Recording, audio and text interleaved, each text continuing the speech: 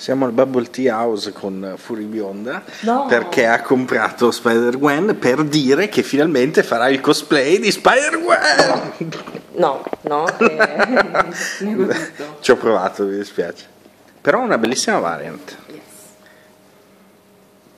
e si, e si intona con la anche- mobilia. Esatto, è buonissimo anche il bubble tea. Ah, okay. Ma farà il cosplay? No.